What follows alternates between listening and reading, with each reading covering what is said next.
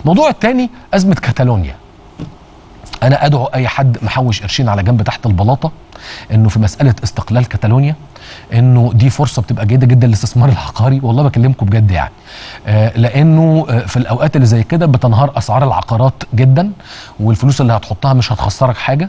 ففي عندك سيناريوهين.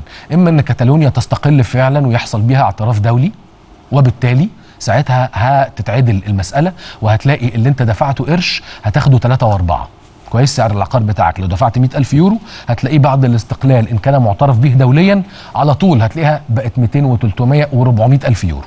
طيب افترضنا إنها ما استقلتش ووصلوا إلى حل جيد ما بينهم وما بين الحكومة المركزية في مدريد.